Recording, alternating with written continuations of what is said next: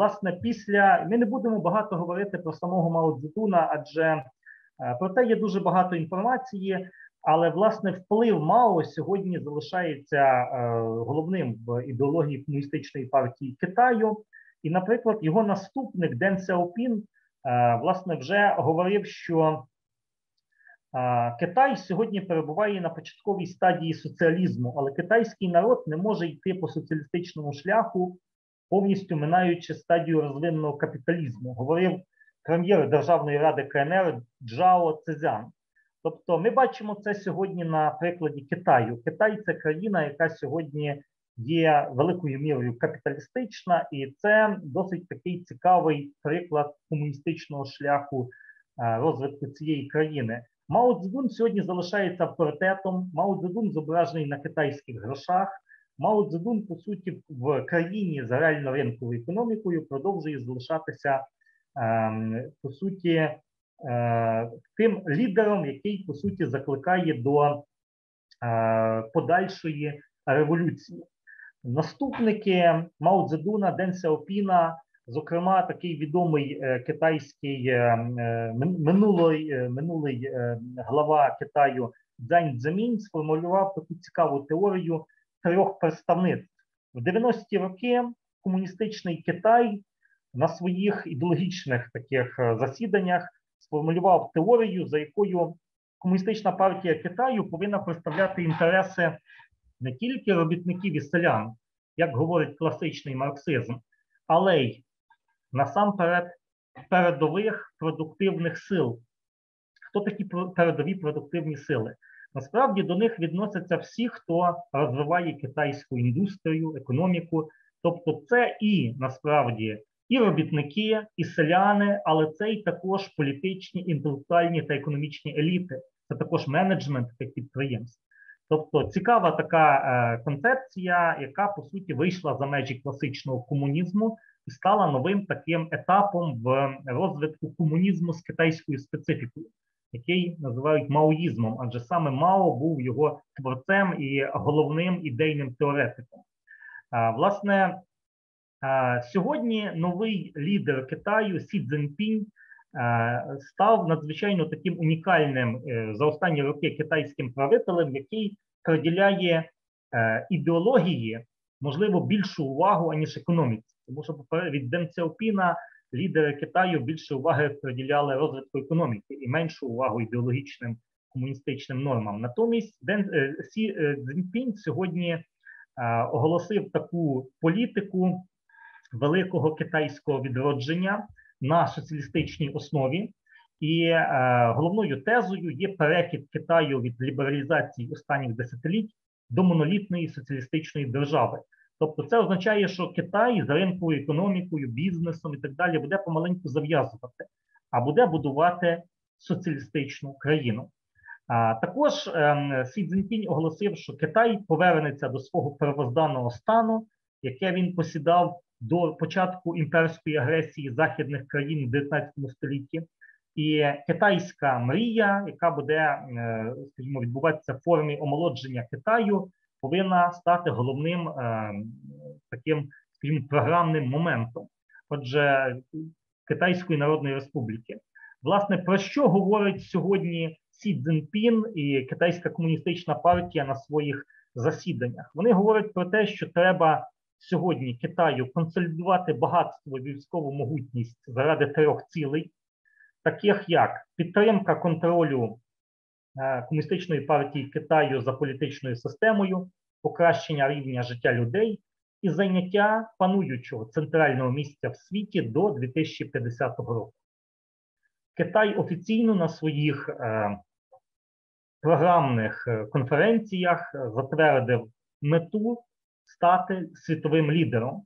Соціалістична глобальна держава це не заклик до комуністичної світової революції, сказано в програмах КПК е, Комуністичної партії Китаю, а це посилення ролі Китаю в світі, просування до центру світової сцени з метою стати провідною країною до 2050 року та визначення активної місії КПК в загальному розвитку людства. Тобто комуністична партія Китаю має стати організацією світового значення.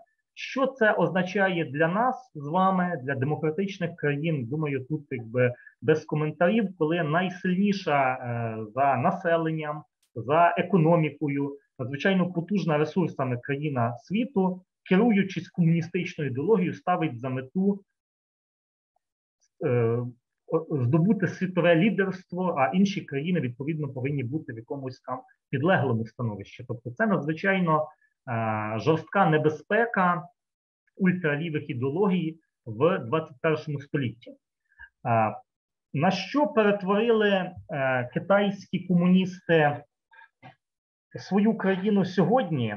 Е, можна подивитися на прикладі так званого е, так званої програми соціального кредиту, яку запровадив уряд Китаю, і сьогодні е, в різних провінціях її втілює. Власне, суть цієї концепції полягає в тому, що за громадянами китайських міст слідкують через телефони, комп'ютери, через камери спостереження на вулицях і так далі, і формують певний портрет кожного громадянина і рахують певні бали за правильну чи неправильну поведінку. Наприклад, якщо е, китайська влада бачить, що ви, скажімо, багато часу витрачаєте на комп'ютерні ігри, там чи на е, читання неправильних на думку комуністичної партії книжок, чи купуєте неправильні, непотрібні на думку комуністичної партії товари в інтернеті, запізнюєтесь на роботу, порушуєте правила дорожнього руху і ще сотні різних параметрів, вам знижують соціальний рейтинг. Е, там з якоїсь там тисячі балів вам віднімають по 5-10 балів за кожен, кожне порушення. Відповідно, коли е, ви хочете купити там, взяти кредит, здійснити покупку через інтернет, замовити авіаквіток, то вам може бути відмовлено в багатьох послугах, тому що у вас низький соціальний рейтинг. Ви внесені до чорного списку як людина, яка робила якісь там порушення чи вела неправильний з точки зору комуністів спосіб життя. За кілька останніх років 20 мільйонів людей в Китаї не змогли придбати квитки на літак чи на поїзд, тому що в них був низький рівень цього соціального рейтингу.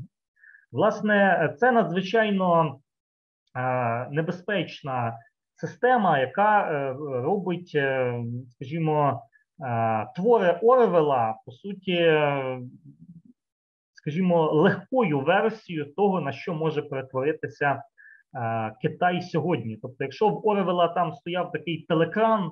Е, на стіні кожної квартири, який слідкував за людьми, то тепер е, через Е, засоби технічного, скажімо, прогресу, Китай може слідкувати за своїми громадянами не тільки вдома, а будь-де.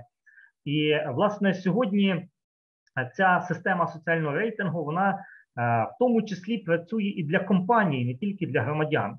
Наприклад, компанії, які порушують екологічні норми, юридичні норми, погано платять робітникам і так далі, тобто якісь там порушення, вони також обмежуються в можливостях взяти кредит і так далі. А ті люди і компанії, які е, виконують все правильно з точки зору комуністичної партії, вони навпаки мають заохочення, пільги і так далі. Тобто цією системою навіть задоволена частина людей, тому що знизилась кількість ДТП. Багато водіїв бояться перевищувати швидкість, тому що їх оштрафують на ті кілька балів, і вони там завтра не зроблять покупки в інтернеті, не замовлять квиток, не попадуть на навчання в університет чи е, заборонять е, одержать заборону займати державні посади. Тобто, власне, ця система з одного боку навіть показує певні позитивні аспекти контролю е, над людиною, але з іншого боку, це є жорстоке і недемократичне втручання в особисте життя людини і перетворення життя кожного індивіда на абсолютно контрольований процес, який по суті навіть в зародку е, не дозволить появи з'явитися якимось революційним настроям. Людина не встигне в телефоні написати коментар чи лайк, поставити проти антивладних якихось там меседжів, як е, її вже знизять в рейтингу, так що вона не зможе ні купити нічого, ні е, одержати будь-які перспективи для подальшого Е, життя в суспільстві. Тому, власне, це диктатура нового типу, диктатура, якого якої ще ніколи не було в ні Сталіну не снилося, ні Мао Цзедуну, ніколи в попередні століття не було такої системи контролю над людиною, яку запровадив маоїзм як комунізм з китайською специфікою.